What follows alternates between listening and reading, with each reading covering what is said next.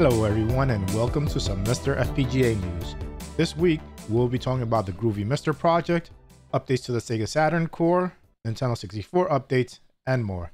Also, check out my channel sponsor, MiSTer Add-ons, a place where you can get all your Mister needs, things like full Mister setups, I/O boards, accessories, and more. Now let's get to the news.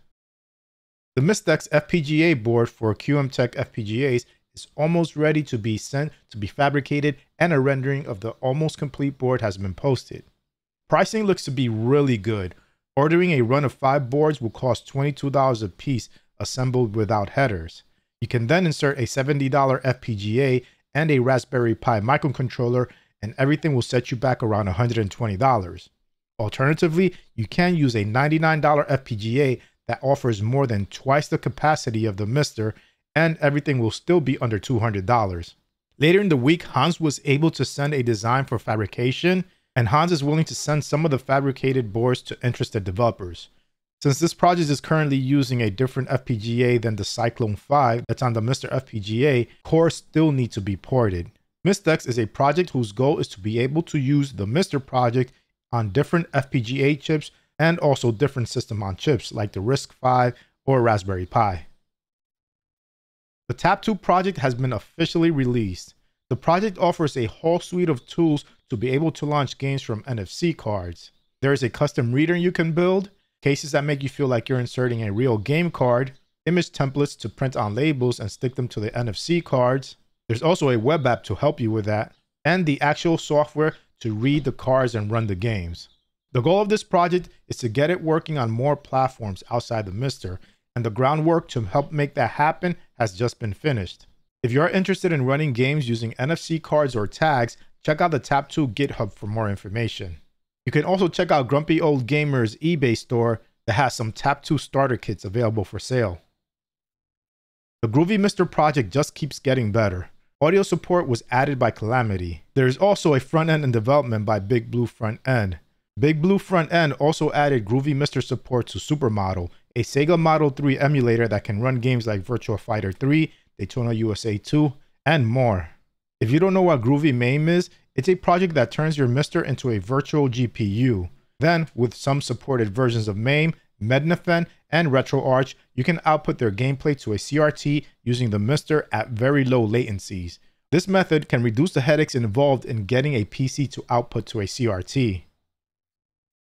Jimmy Stones made some changes to the Robotron core that makes a feature it had for years visible, high score autosaving. The changes still need to be approved before they show up on the core.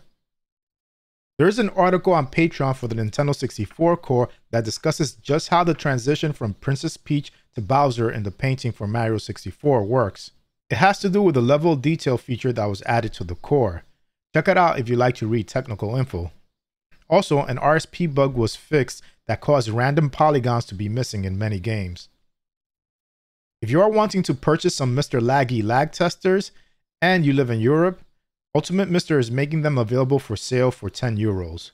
MiSTer Laggy is a low-cost lag tester created by Mister developer Martin Donlin that can help you determine the amount of lag your display is causing. I have a video on the device if you want to find out more information. Developer Jotego always makes sure to maintain older cores by fixing issues and adding new features. He recently updated several cores with maintenance releases. The JTS House core, which runs games using the Splatterhouse hardware, was updated to include replacing the old MCU with a new JT6301 Cycle Accurate core. This new core offers some accuracy fixes. Pause support was also added to the core. For the CPS-1 core, several bootleg games were reinstated. This includes a whole bunch of Street Fighter II bootlegs and a Pang bootleg. In addition to those bootlegs being added, there were other maintenance fixes included. Other cores updated with maintenance fixes included the 1942 core, the JT Carniv core, the Haunted Castle core, the Contra core, CPS 1.5 core, JT Rumble core, and the System 16B core. The next game in the MiSTer FPGA Discord Game Challenge is Tetris Attack for the Super NES. This challenge asks you to compete on the 2-minute time trial mode and goes until February 9th. The Sega Saturn core also has been updated this week.